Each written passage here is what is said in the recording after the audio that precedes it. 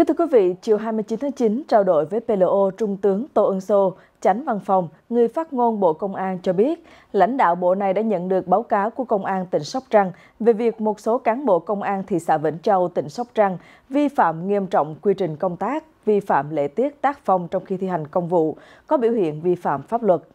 Lãnh đạo Bộ Công an đã chỉ đạo Công an tỉnh Sóc Trăng làm rõ vụ việc và xử lý nghiêm minh những cá nhân vi phạm, tướng Sô thông tin. Trước đó, liên quan đến vụ việc này, mạng xã hội Facebook chia sẻ đoạn clip hai người trong trang phục cảnh sát đánh liên tiếp một nam thanh niên. Theo clip khoảng 5 phút sau khi rượt đuổi, hai người trong trang phục cảnh sát bắt kịp hai thanh niên đi xe máy. Vừa đến nơi, một người lao đến đánh nam thanh niên điều khiển xe máy, dùng vật giống dùi cui tấn công đến mức văng cả dụng cụ này.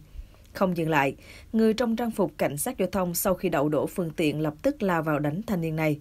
Cả hai người đánh thanh niên khoảng 2 phút, trong đó có cảnh người mặc sắc phục công an dùng nón bảo hiểm đánh thanh niên. Trao đổi với báo chí, Đại tá Lâm Thành Son, Giám đốc Công an tỉnh Sóc Trăng cho hay đã chỉ đạo tạm đình chỉ tổ công tác gồm 4 cán bộ, chiến sĩ thuộc Công an thị xã Vĩnh Châu. Đồng thời, Công an tỉnh yêu cầu Công an thị xã Vĩnh Châu báo cáo toàn bộ vụ việc để xử lý nghiêm.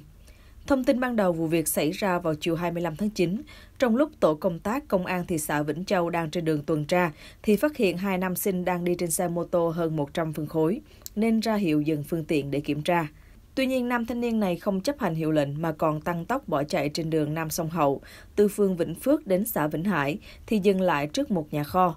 Theo công an Sóc Trăng, nam thanh niên điều khiển xe máy không có giấy phép lái xe. Cạnh đó, khi được yêu cầu dừng xe, người này không chấp hành và có hành vi chạy xe lạng lách, đánh võng, thậm chí ép xe của cảnh sát giao thông. Khi đến dừng được phương tiện, hai cảnh sát đã có hành vi bạo lực, đánh đập hai em học sinh, nhất là với em điều khiển phương tiện như đoạn video thể hiện.